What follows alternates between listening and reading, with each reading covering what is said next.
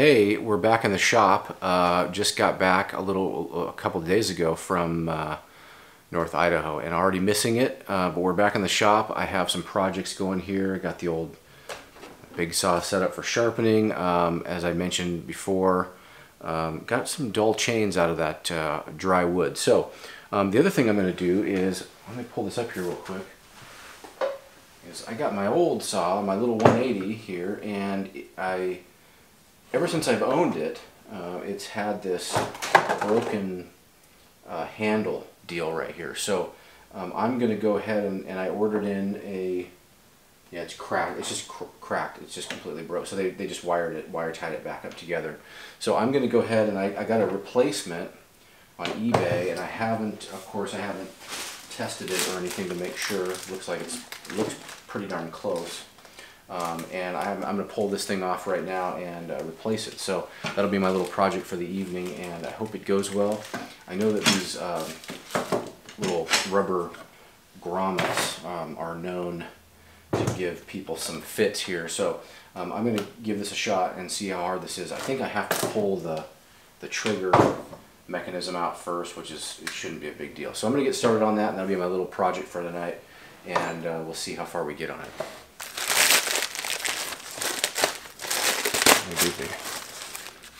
Yeah, it doesn't look like they threw in. They got one grommet here, which is a bummer. It should go. I mean, it looks like it snaps in there like like that, or or clip connects into that one. So that's kind of a bummer. I might replace the bottom one because it's probably the most oily one, and I'll just keep the other ones the same. Oh, and you guys are witnessing the first video with my new Canon M50. So you gotta tell me if the focus is good. Supposedly these have good focus, uh, autofocus, so I don't know, but we're, we're gonna find out together on that one. What kind of quality we have here. It's obviously this thing's made in China, so um, I don't know what really what to expect. It looks very similar. It's got a little more grip. It feels like. Feels pretty pretty much the same. A little bit of a bit of rough stuff going on there. I might have to kind of trim up a little bit. File that down a little bit. It's a little rough. That's better. You don't want that. That's on the trigger area. Let's see what comes off here. That comes off. Looks appears that I have to uncoil that and slide that right off. We'll just kind of leave that hanging. You know, I'll, just, take it out. Pretty easy to do, just a matter of remembering how to get that back together. Looks like that just slides right off that post. Alright, so that, that was, how's it looking in there? It's pretty good. I had to do a new fuel line a few years ago. It looks like that's holding up good. It's running kind of weird and I just had to do the fuel line. Gotta pull this bar off of here, so let's do that real quick. A good time to woo, woohoo, Christmas time. That's pretty funny. And they say you just pry those out without destroying everything. I don't know. Maybe they're hard to get out. I don't know. I'd like to get one out so I know what we're up against. Let's do let's do two just in case here. Pull them straight out. Okay, looks like that rubber piece is actually coming out with the plug. Okay. I guess that's okay. Here, I got this, this tool that might, that might work better. Yeah, I think that's actually really good. do that without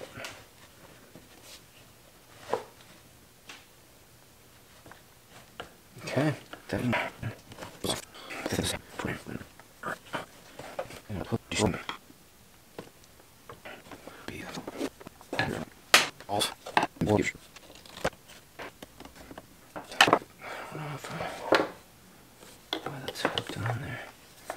They said these are pretty darn tight. Oh, there it goes. I got it. Got it. Got it.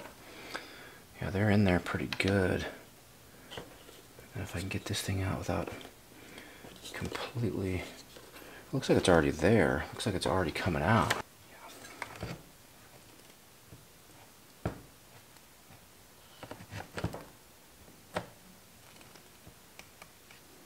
How is that still in there? Man.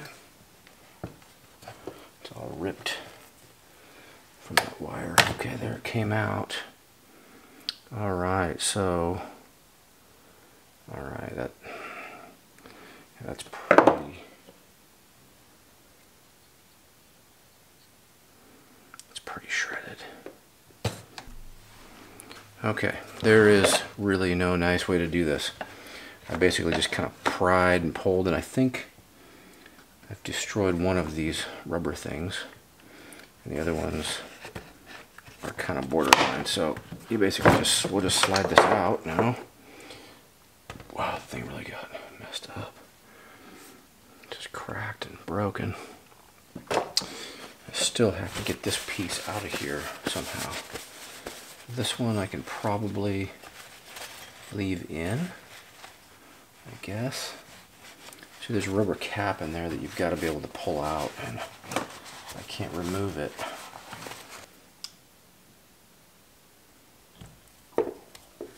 see if we can just pry that out. There we go. There we go. That's it. That's out of there. Nice. Okay, now getting that out is going to be a problem. It'll go on though, I bet. Alright, well, here's what I'm going to do. Here's my plan. I'm going to ner like use this old one because it's not ripped or anything. It's kind of screwed up, but that one I can actually take out later and replace, I think. I think I can actually push this grommet out the other side. So um, I'm going to try to jam, and then I'll leave this one on there. That's fine. That, that's probably not going anywhere. And then I'm going to try to slide this new handle over the top and get it uh, get it together. Get it together, man. See if it fits. I just mainly just want to see if this thing fits. I can always find, I can always track down a couple more of those dampeners, but it doesn't fit, that is not good thing.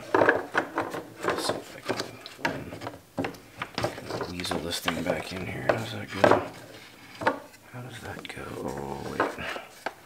Wrong side. Hang on. Hang on. On. Gotta go on this side. Alright, it looks like it's gonna fit at least.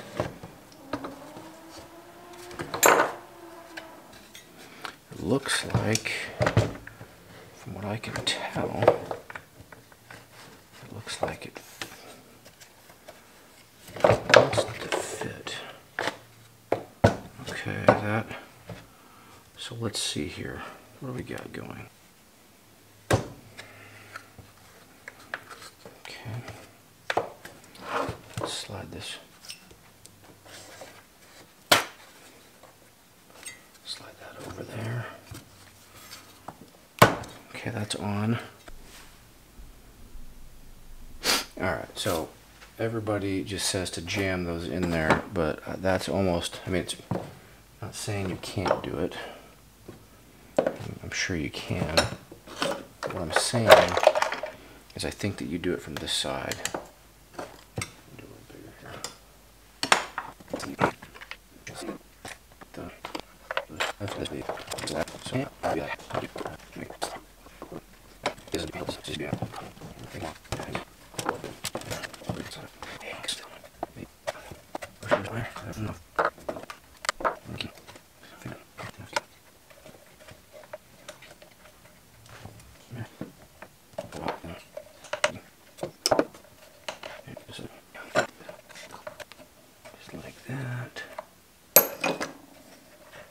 That was always a pain to get out.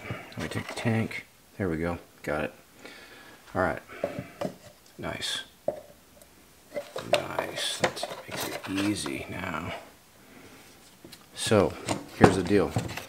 We got this cap on the inside. That's how they assemble this thing.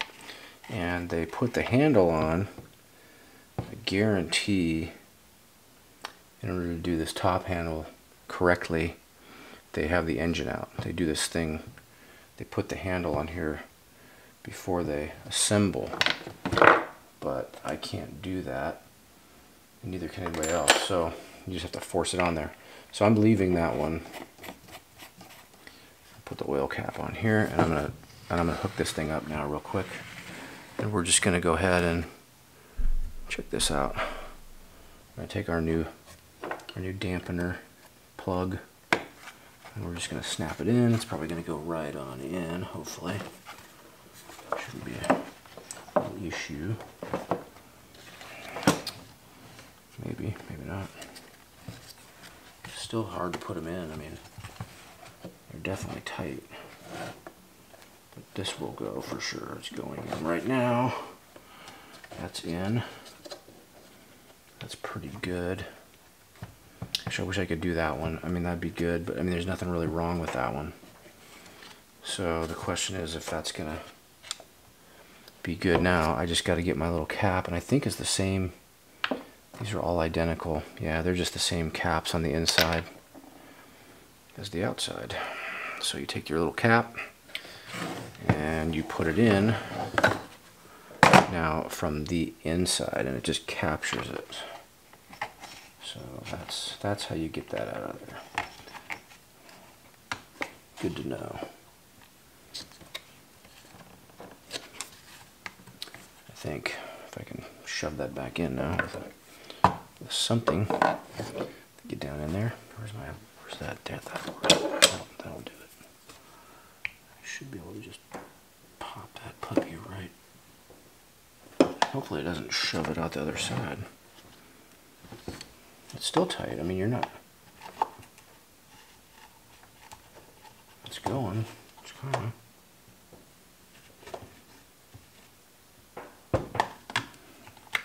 It is tight. Tight, tight, tight. Oh, here. Let's get that sucker all the way in there where it needs to be.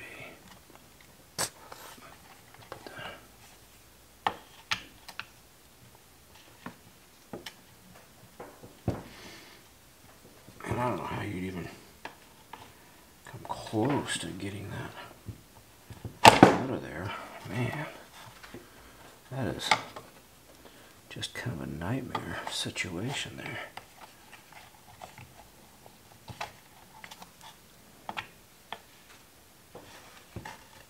Okay, that's in. Okay, that that side's in. Now that's so that's good. That's what we need. Let's see, does everything line up? I mean, it looks a little. How's that? How's that gonna go here? Is that gonna line up everything, or is it gonna be cockeyed and weird? I don't know how that's gonna look yet. Maybe okay. It may be okay. I'm to put this back in. We're going to put this other cap back on here. Don't lose it. Okay. Put this other cap right back on. Actually, I'm going to wipe that off, the grease off of that. It should go right on there. So the reality is to get this inside, they want you to take off you basically have to take the motor off to do it correctly but people just shove them in there. I don't know. I mean you can see how hard that that is to do. I'm glad I didn't reef on that too hard. Um, I can probably get that one to work now and, and at least get it on there. But it looks like the handle looks like that fits. So I'm gonna slide this tank back in. Alright, after monkeying around with this thing for a while now, I think I've gotten that almost pulled through. It's just like barely hanging there. I'm just kind of like pulling it, and then I'm eventually to have to shove it back into this other plastic piece. This is like a jigsaw puzzle. It's kind of a mess.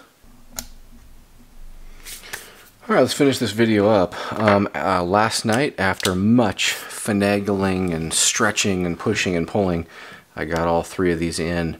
Um, it just took uh, an incredible effort. Yeah, it was definitely not easy, and I didn't even take this one all the way out. So, and I, so I got this. I got the new handle on here. Um, it's uh, obviously a uh, aftermarket, you know, made in China kind of thing.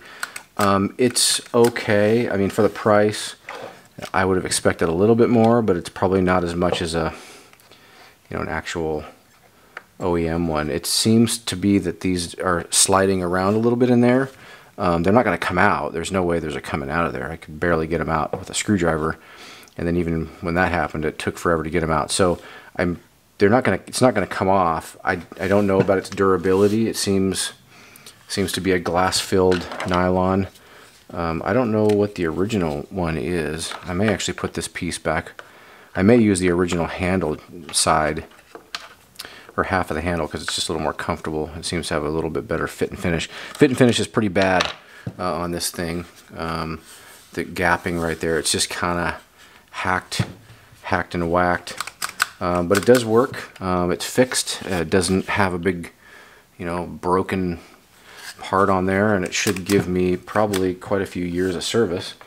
Um, I don't know how it was broke in the first place. I mean, I'm, I'm not real hard on these things, so maybe somebody dropped it or something, but I've used this for seven years, so seven or eight years, and I've never had a problem with it. Um, seems to be functioning fine, um, but these are a pain to get out. What I did learn, as you saw from the video, is that these are there's cap here. There's three caps here this one has sort of a plug that you push in to lock it down. And these have identical caps. I'm guessing, I, am 99% sure that there's an identical cap on the other side here. And I know that there's an identical cap on the inside as I showed you with taking the tank out. So what the, the way they assembled this was they did this before the motor was put in. So to do this the proper way, you, to get this plug or this this dampener out right here you either have to muscle that thing back in which people say is possible. Yeah I can see the I can see the cap on the other side here. Or you'd have to somehow what would you do? You could you'd have to pull the motor out I think. I think you'd actually have to split the case here pull that off and probably slide the motor out which honestly it's probably not all that hard to do. I mean, I'm going to eventually have to replace some sort of oil line in here because it's leaking oil. And it, it I'm probably going to have to take most of it, of it apart anyways. Um, so it's it's probably not that hard. This cover comes off super easy. This brake comes off super easy. And I don't know, I didn't really even look in there, but I, am guessing that that motor just unbolts somehow maybe from the other side here, but it's probably not all that hard to take out of there. And then you can get to the other cap and, and do it the right way. Um, but it's just, other than that, if you, if you don't do it that way, you've gotta like lube that thing up somehow and, and jam it in there. And I'm just hoping that one doesn't break. Doesn't, none of them were really broken. They were just kind of, the one down here, I'll probably end up putting a new one in there. That's the old one. That's a new one. That's an old one and that's an old one. That one's really worn out. So it's because it's all oil. Oil gets all over it down there and just kind of gets it all goopy. So I have another one coming for that. He forgot to send it, so they're going to send me a new, some new ones anyway. So I'll, I'll, probably replace that one. That's pretty easy to get to, and and now that I know how to do it. Uh, what else? I'll probably have to change, and I'll probably want to take this off and clean the sprocket.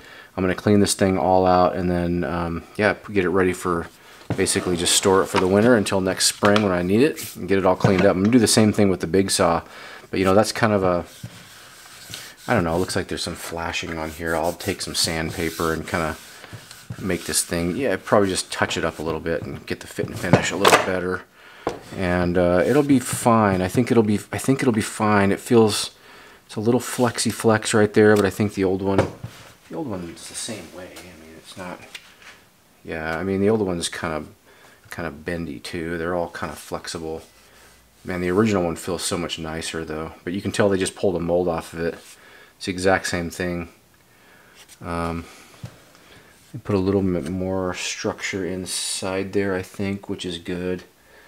Um, but yeah, and I, yeah, I think that these holes on the original one are just slightly smaller, or maybe they put glue or something in there. It does feel kind of weird, but um, yeah, what a pain to get off of there. And this thing's junk. I can't use that, so that's kind of a bummer. But hey, you know that should be good, good service. Should be good for another 20 years of run time. So yeah, I'm gonna I'm gonna probably do some videos here on cleaning up the chains, and I gotta I'll I'll just you know do the standard blow this thing out. This is really bad. Get that all cleaned up. So yeah, cool. All right, guys. Um, that was the project, and I got that on there, and that was that's good. I'm happy about that. So I will see you guys on the next one.